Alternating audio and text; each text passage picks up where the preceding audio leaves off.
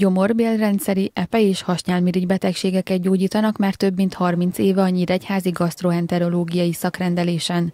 A legkorszerűbb endoszkópokkal dolgoznak a József András Oktatókórházban, főleg a gyomorrendszer endoszkópos vizsgálata fejlődött rengeteget az elmúlt évtizedekben. A Nyíregyházán 1978-ban végeztük az első gyomortükrözést, az dr. Kis József főorvos, dr. Siket Ferenc és jó magam, már 78-ban végeztünk ilyen vizsgálatot.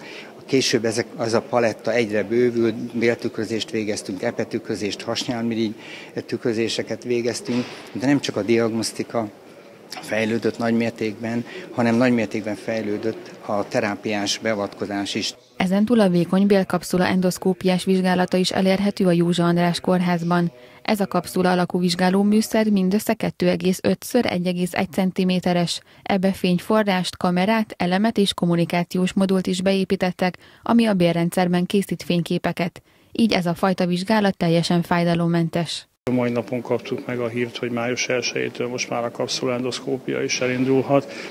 OF finanszírozott módon hangsúlyozom, és ezt nagyon kérném, hogy önök is hangsúlyozzák, hogy vékony bélkapszuláról van szó, tehát nem vastag bélkapszulás vizsgálatról. A vékony bélkapszulás vizsgálat fog elindulni a mai naptól a Nyíregyházi Kórházban, és OF finanszírozott, tehát nem térítéses formában szabolcs merbereg megyében a savas tüneteket okozó refluxnyelőcső betegség a leggyakoribb. A főorvos szerint az itt élők közel 40%-a jelentkezett már ilyen panasszal.